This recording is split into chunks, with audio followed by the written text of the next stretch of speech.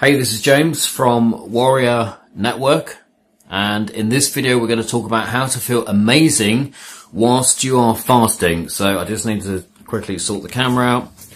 Uh, we're here in uh, England, very cold England, horrible, horrible cold. Okay, even though we're inside, we've got the heating on, it's still, it's still pretty damn cold here. Okay, so what we're going to do is we are going to make sure that when we're fasting, we feel great. And the way that we're going to do that is we're going to make sure that our electrolytes are kept up because sometimes when you're fasting, if you are feeling a bit faint maybe or a bit weak or something like that, then it might be because your electrolytes are low. Okay, so what we're going to be doing is we're going to be mixing up a solution of salt and potassium with a little bit of baking soda as well to make sure that you keep your electrolytes topped up.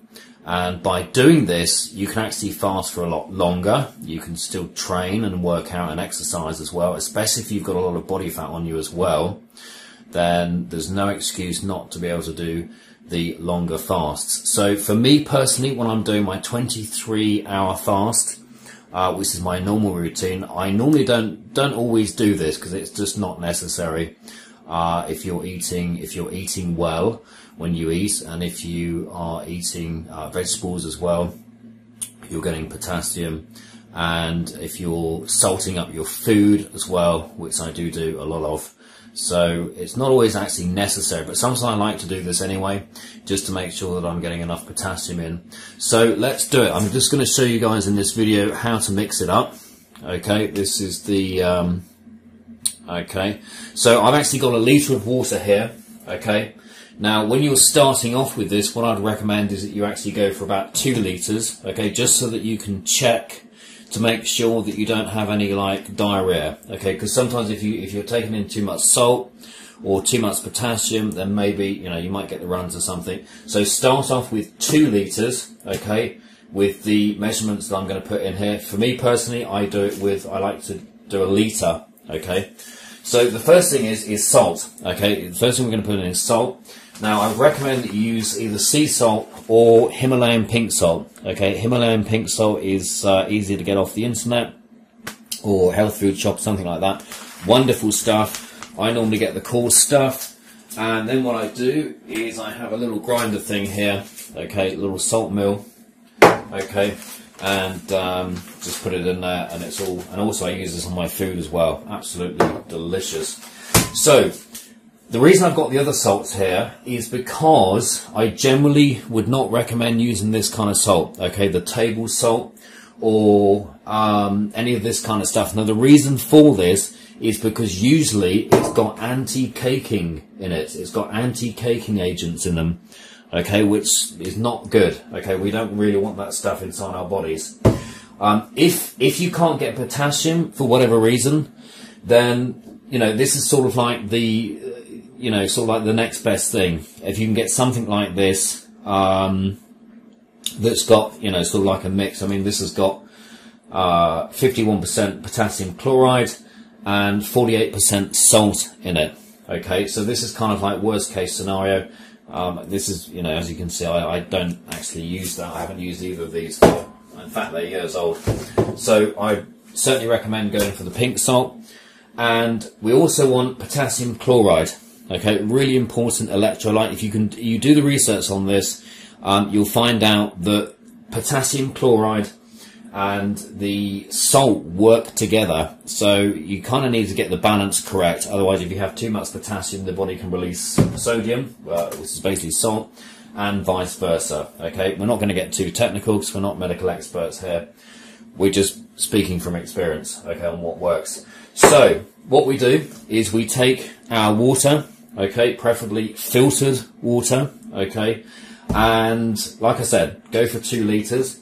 And what we're going to do is we're going to go for about, I normally go for about, I kind of go for about three quarters of a teaspoon, okay, so I'll just grind up some salt.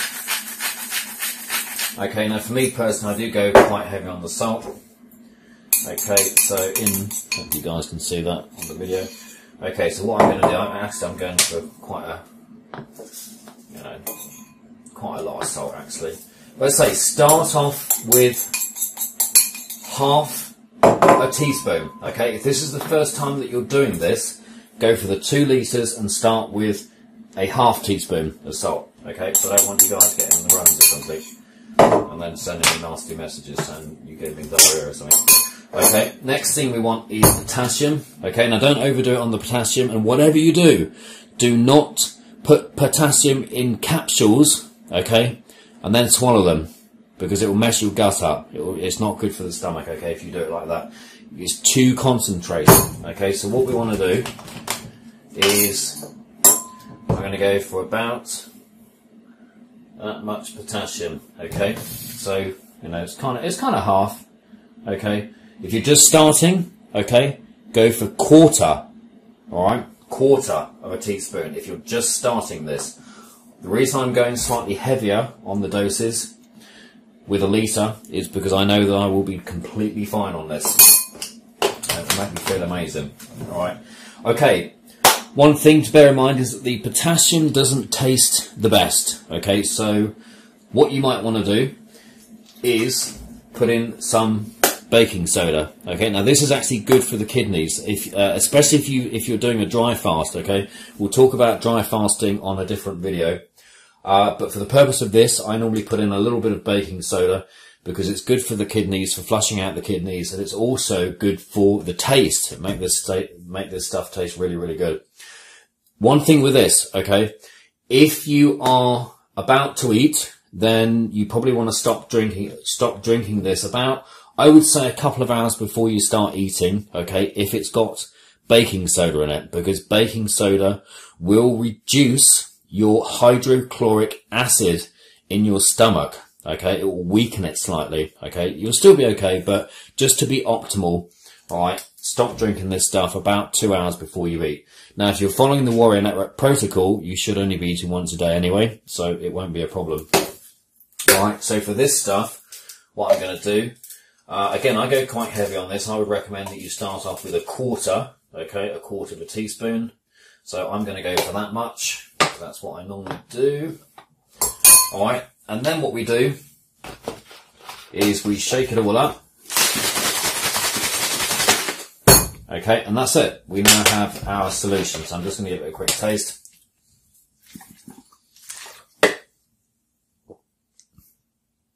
That's good. Yeah, that does taste good. Okay. One other thing that you can do, if you want to, is you could also put some of this in it, okay? Cayenne pepper. If you want to give it a bit of a spice and uh, a bit of a kick, then this stuff is really, really good.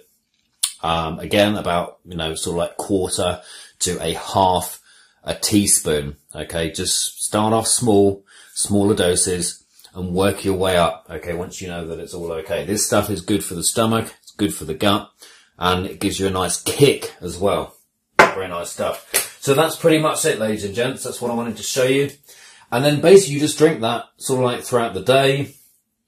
You know, there's no minimum requirement.